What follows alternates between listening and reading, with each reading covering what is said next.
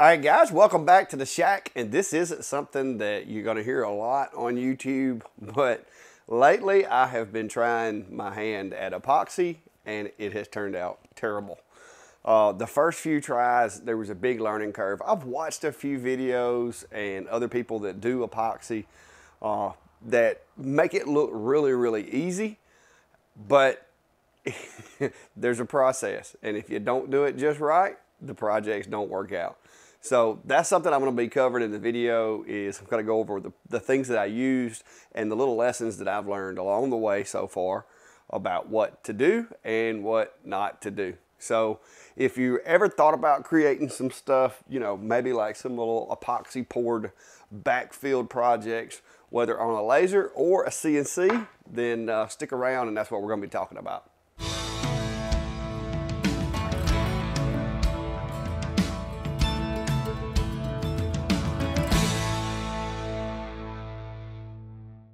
All right, so this all started back when I first got into laser engraving. That was something that I wanted to do, was to be able to take a laser and kind of, you know, cut out a shape in a piece of material, backfill that with epoxy and let it sit and then sand everything down smooth and have that nice, like, insert basically. And this is a piece that I made for my friends over at Butterfly Bridges.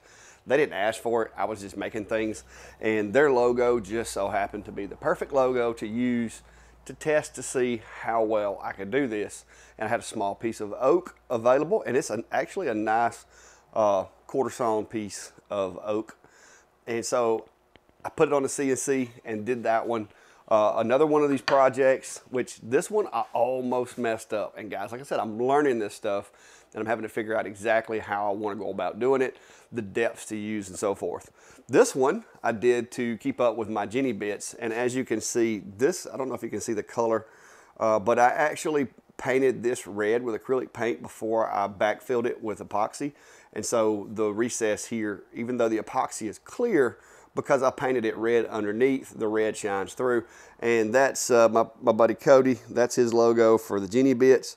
And this block is made specifically to hold the entire set as it stands right now of Jenny bits. Now, if he starts adding more, I don't know what I'm gonna do. But for right now, there's 14 bits in the collection and that's what this is for, is to hold the bits. And I'll do a little bit more uh, video on that and show you what it looks like with the bits in it here shortly. But another project that I found, because I just mixed up some, uh, some epoxy and was like, hey, I wanna do a few things. Uh, this is a uh, little Clack Shack logo. This was actually done on the same Smart Genmitsu 3030. And all it was, was I took my logo and engraved it in a little piece of oak. Uh, this was another little scrap wood project. And when I was trying to figure out what all I wanted to test with the epoxy, this was already in my little trial piece box. Uh, and so I was like, you know what? I could backfill that engrave with black epoxy. And so that's what I did. And this is going to be my new coaster for sitting over here at the uh, command terminal instead of the slate one that I've been using. I think this one looks a little more, uh, a little better and a little fancier in my opinion. Uh, the other project that I did, and this was just something that I was doing for our house. My wife's in currently redoing our back deck and fixing up the, the yard, making it look nicer and all that. I was like, it needs a little more Clack Shack swag. And so I did our house numbers in an old piece of cedar. And what I wound up doing was I CNC'd the cedar and then I went back and painted it with black uh, spray paint. Ran it through the planer one time to expose the wood underneath the black spray paint. And then once I did that, I just went and painted on uh, the epoxy over the top of it to try to seal in the color of the natural cedar.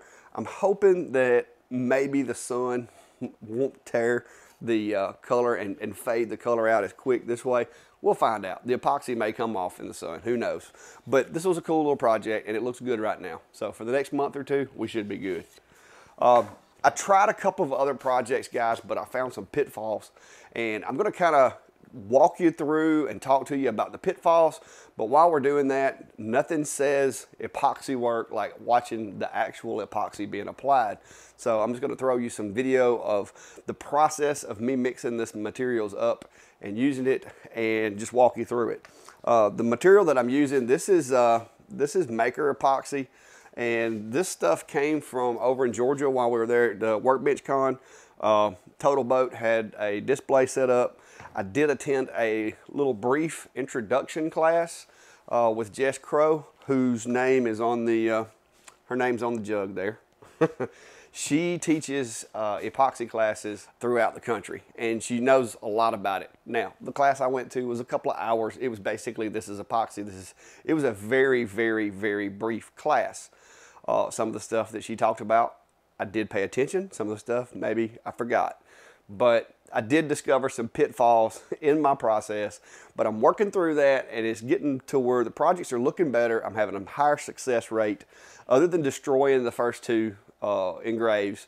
Not the fault of the epoxy, but because this guy forgot to make sure the settings were correct on the flattening bit before starting the flattening process. And let's just say the CNC made short work of those work pieces and destroyed them. But since then I went back, I've got my settings fixed so that I can flatten them out and it's not trying to take such big bites. And uh, hopefully we won't have that problem again. But I'm gonna go over to the computer and just show you some of the video footage of me putting the epoxy in, the process that I use. Not a professional, guys. Literally, this is the first time I've tried this to this level. I've done a few laser uh, repours, uh, lakes, uh, logos on tables and stuff like that, which were really, really simple. And I got lucky, apparently. because I didn't get as lucky on these. Uh, but so far, so far, I've only destroyed them with the CNC, not necessarily with the epoxy, except for a little bleed over that I, I didn't account for in the first project. So let's go over here and check out some of the footage of me putting these things together. All right, guys, so most important, parts A and parts B do not mix until you're ready to make something, until you're ready to actually go to the project, you want to keep those things separate, as well as any kind of materials, whether it be the mixing spoon or straw or whatever you're using to mix with. Once those two parts get together, it's going to become solid. So uh, don't even try to use the same stick to scrape the little cans. Don't do that. Uh, lessons learned from a guy who's just getting into this.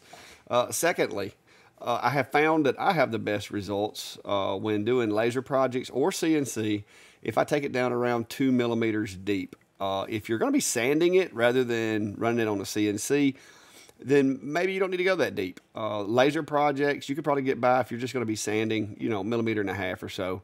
Uh, but with me, I have decided that two and a half is going to kind of be my go-to for CNC projects. Also, if you're doing CNC projects, keep in mind if you use a V-bit, this is where I messed up on the first couple of projects I did. If you use a V-bit, the way that the V is shaped, when you surface the item, your text is going to get thinner and thinner the more you surface. Uh, so if you use a V-bit that's only going two and a half millimeters deep and you surface the top millimeter off of it, your letters are going to be significantly smaller, fainter, and it's just not going to work. So I would recommend either using a like a ball nose 16, uh, 1 16th bit, or if it's a larger engrave, of course, just use a flat end mill. Uh, but that's what I had to do on the block. The first version of this block that I did, I did with a V-carve bit. And once I surfaced it, of course, all the CNC work went away and the, the laser engraving went away because I didn't go deep enough. So when I did it again, I went back. The laser engraving that you see me covering right now, that's probably about a millimeter and a half to two millimeters deep. I did it on an Atomstack 40 watt. I ran it two passes so that it'd be really deep to avoid uh, erasing it during the surfacing on the CNC. Like I said, if you're sanding this with sandpaper, probably not going to be a problem. Uh, but if you're like me and I wanted to go and surface it with the CNC, and I ran like a half millimeter uh, surfacing pass over the material, you know, you, you got to consider that that's coming off after you're done. So you want to make sure that you add extra in to account for that. And I didn't, and I messed up a couple of my little projects. So just note to self. And another thing that I came up with is doing this little project here. And guys, this is just a little rough CNC project that I did when I first got into this, got my CNC, and I've just kind of been evolving it since. Uh, instead of using pigment, you don't always have to use pigment. You can literally do like I did with this one and use spray paint in the background and then put the clear across the top of it, and you, you get a pretty cool looking finish. It's not going to be the same as if you're using the black pigment but you can you can always substitute the different methods uh, depending on the look that you want and how you know pristine you want it to look or rustic or whatever the case may be. Uh, this, your imagination is your only limitation when it comes to this kind of stuff. And uh, that's what I'm doing here is just basically backfilling over top of the paint. Okay, day two on this particular piece because, yeah, we had a 24-hour curing time on the epoxy. Uh, what I've done here is I have taken the piece and I put it back on the plant on the uh, CNC and I, I, did myself a little uh, like half millimeter pass across the top of it, which removed the epoxy except for the epoxy that was in the, the letters and stuff like that.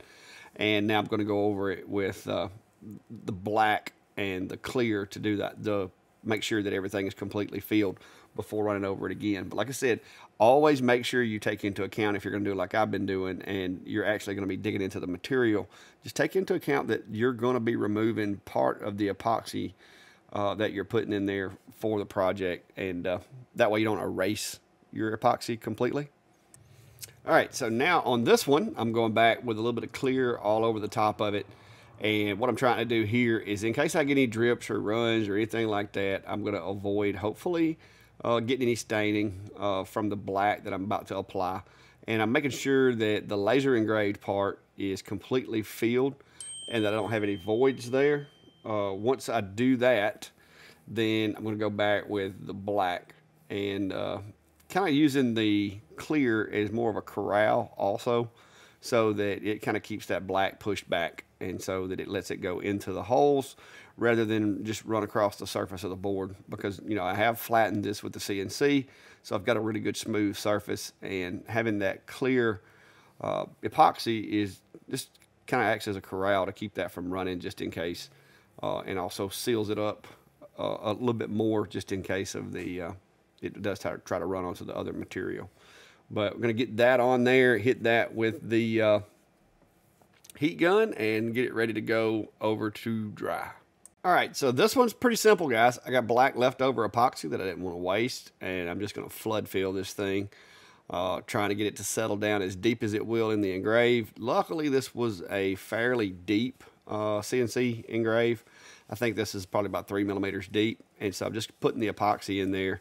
Get as much of the air bubbles as I can, trying to get it to set flat into the wood and then uh, hopefully I'll have something cool once I run a flattening pass on it with the uh, CNC. All right, so fast forward a little bit, guys. Uh, had a little bit of a mix up on the video, but uh, got that working. And so now what I'm working on is the one that I did for my friends at Butterfly Bridge. Uh, you missed all the mixing and all that because of my problem with the camera, but I've got that resolved. And I'm just basically taking it, putting the acrylic in the relief that I made using the CNC on this guy. Same process. We're not going to bore you with everything. Uh, yes, I'm using solo cups. Uh, those seem to work pretty well for me. Uh, there's probably something better out there, but it works, guys, so don't knock it. All right, guys, so I hope this helps, uh, gives you an idea. If nothing else, gives you the confidence to know that when you start doing projects like this, expect to make mistakes, okay? I know a lot of times we don't, as creators, we don't highlight the mistakes as much as we do the successes. And I think that's pretty much human beings as a whole. Uh, you're gonna, you're definitely gonna want to share the good experiences, but maybe not share the bad ones as much.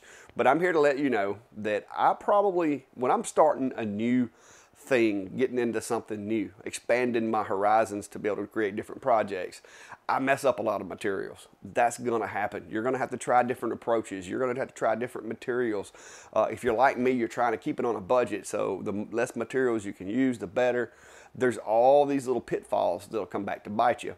And you've just got to work through those and figure out in your scenario, in your shop, with the tools that you have, the skills that you have, what is capable and then start working that. Once you've worked that for a little while and you see what you're capable of, then just push the envelope, push the envelope a little further, a little further, a little further. I wanted that to be able to add another level of luxury to certain custom items. Uh, a lot of people don't want to spend the extra money to pay to have them backfilled, but there are incidents and situations to where people do. So that was just, that's why I'm into this. With the CNC, it opens up a whole new realm of possibilities with bigger items, four foot by four foot, four foot by eight foot.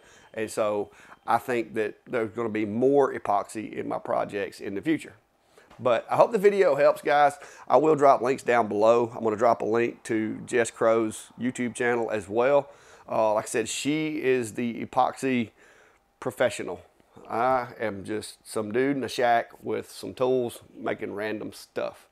So, but I hope you enjoy the videos. I hope this kind of helps you adventure out into doing those new things because it is very rewarding once you actually get a successful product. But don't give up just because there's a couple of trips along the way. Just keep keep pushing on. Start small. Small projects means less waste. Then work to the bigger projects. But until next time, guys, be safe and have a good day.